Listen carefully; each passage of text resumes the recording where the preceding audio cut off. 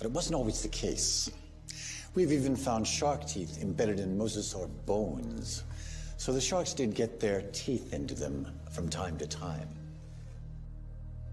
By the way, wasn't it a mosasaur that was found in a mine back in the 18th century?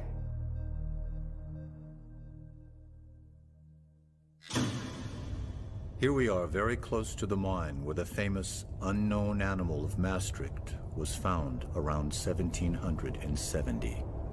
Like all paleontologists, Olivier Rippel knows this story very well.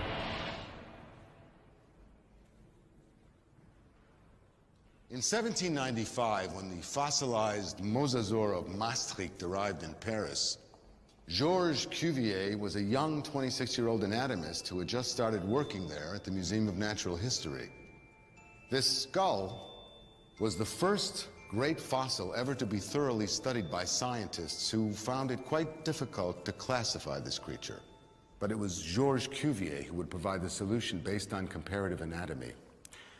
The reptile from the Meuse River, the mosasaur, was a giant sea lizard, a close relative of the monitor lizards.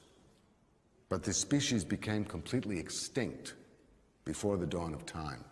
And so, the mosasaur helped to support Cuvier's hypothesis that several universal cataclysms occurred on Earth in the distant past. And thanks in part to this large animal, Georges Cuvier is recognized today as the father of paleontology.